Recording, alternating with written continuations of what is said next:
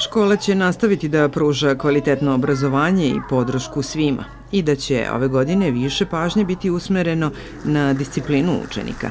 Ovo je generalno gledano ako škola postoji 35 godina, jer nisu svi krenuli od prvog, znači ovo je negde otprilike 30. generacija učenika prvog razreda koji polazi ovu školu. Što se tiče tih nekih novina koje je ministarstvo propisalo zakonom, zakonima o osnovnom obrazovanja, ja ne bih ta ovog puta, generalno gledano bit će malo strožije što se discipline tiče, što se mobilnih telefona tiče, što se prava deceta, bit će sve to kako je bilo do sada, ali će se prosto posebno insistirati na bezbednosti učenika. Pitali smo najmlađe kako im je prvog dana u školi, šta očekuju, a stariji učenici su nam otkrili da su im pomešani utisci nakon letnjeg raspusta. Volim da idem u prvi razred zato što volim školu, previše.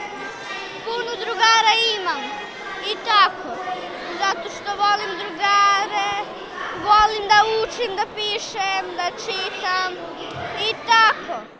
Mnogo, mnogo. Ja, da, baš sam srećan i ja dočekam da se upoznam sa učiteljima i sa novim drugarima. Šta očekuješ od nove školske godine? Pa, no, pa mnogo dobrih iskustava i druženja i svašta nečega.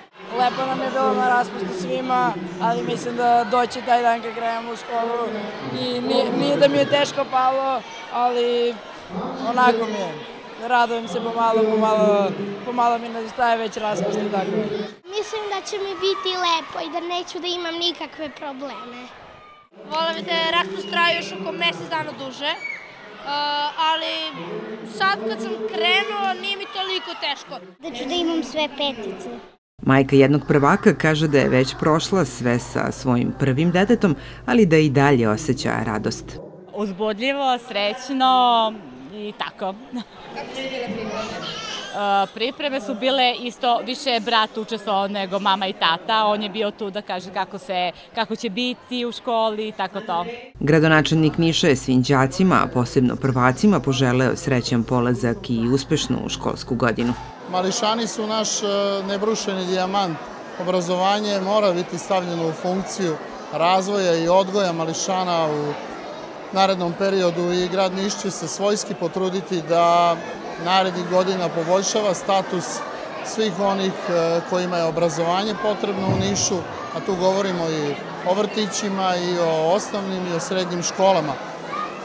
Na različite načine grad može pomoći i grad će biti spreman da narednih godina ulaže sredstva kako bi poboljšao obrazovanje dece i omladine generalno.